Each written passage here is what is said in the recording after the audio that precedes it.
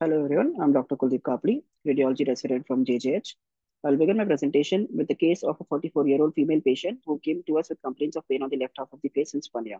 The pain was sharp shooting, having electric shock-like sensations lasting only for a few seconds, brought on by certain triggers such as washing her face with cold water, no history of head injury, photophobia, phonophobia, no significant family history.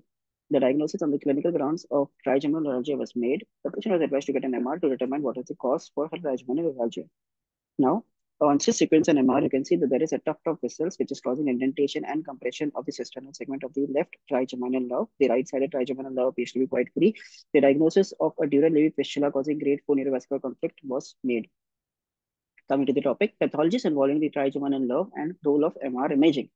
Trigeminal neuralgia is a disorder which is characterized by recurrent unilateral brief electric shock-like sensations, which are unilateral, having an abrupt onset and termination only for a few seconds, limited to the distribution of one or more of the trigeminal nerve. Now, this is a clinical diagnosis with imaging useful only to determine the location of the pathology and the underlying cause, and also in order to determine in helping in the guidance for the treatment so coming to the brief anatomy of the trigeminal nerve, it, it has a nucleus which has the intracrinial codes, and we have the extraaxial codes, the cisternal segment, Meckel's-cave, cavernous segments, and the three peripheral segments. The nucleus has the sensory nucleus and the motor nucleus extending from the midbrain to the cervical spinal cord is the sensory nucleus, and we have the cisternal segment, the Gasserian, the trigeminal ganglion, and then we have the three divisions of ophthalmic, maxillary, and the mandibular V1, V2, and V3.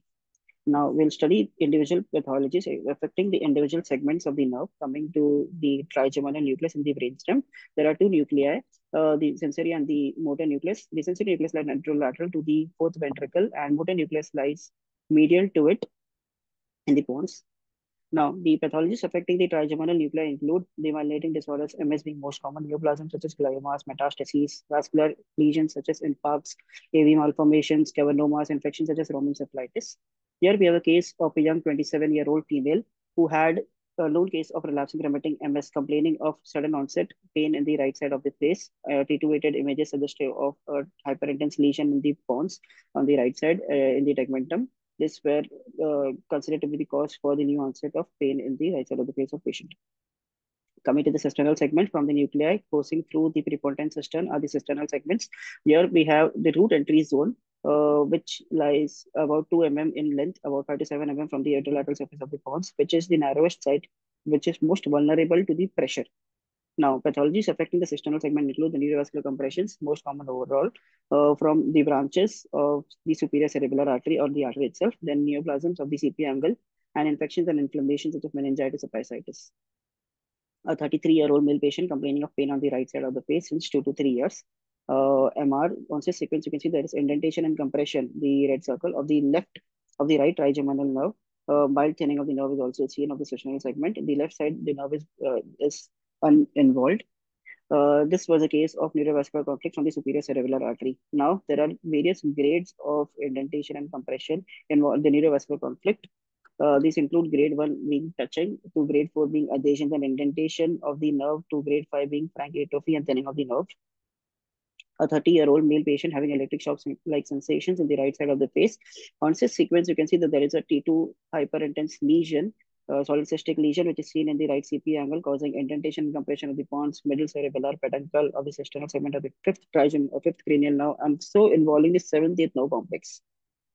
Now, on basic sequences, T2 hyperintense, inadequate FLAIR suppression, and diffusion restriction. This was a case, a classical case of right CP angle epidermoid cyst. Another case of a 40-year-old male patient having throbbing sensation, similar complaints on the left side of the face.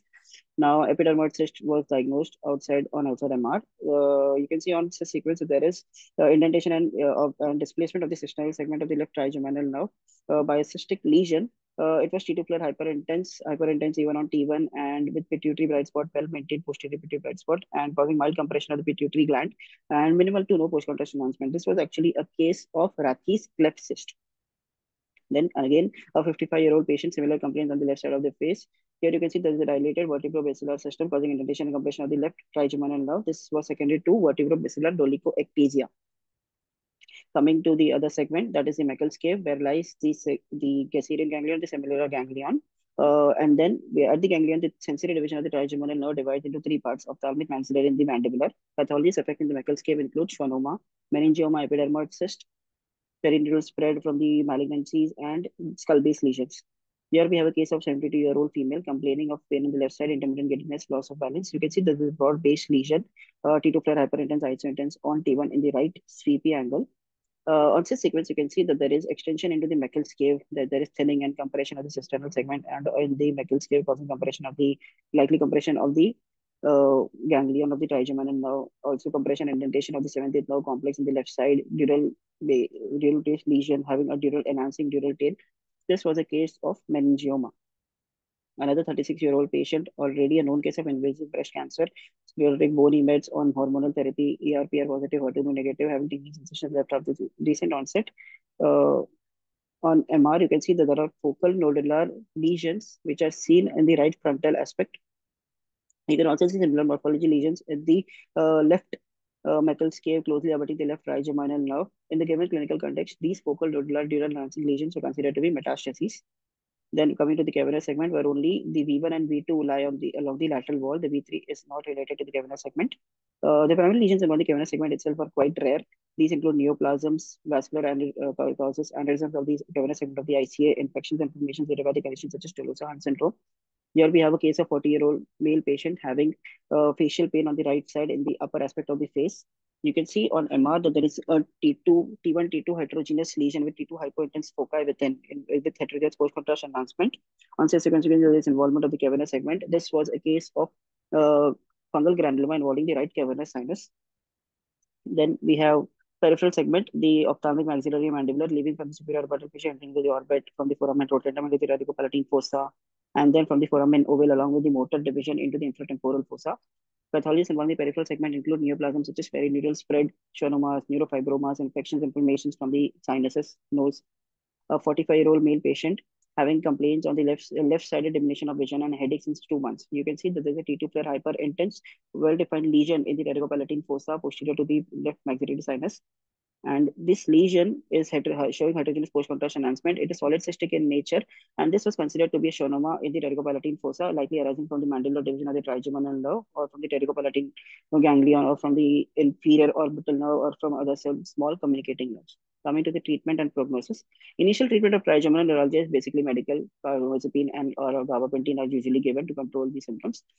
Uh, the large surgical series have confirmed that microvascular decompression of the nerve root is also an efficient and durable treatment for the trigeminal neuralgia. Other treatment procedures include gamma knife surgeries, rhizotomies, destruction of the trigeminal ganglion and nerve root itself in the Meckel's cave by thermal, chemical, or mechanical methods. The other, the basic treatment also includes treatment of the underlying causes such as of the meningioma, schwannoma, or treatment of the malignancies, of the meningitis infections, etc.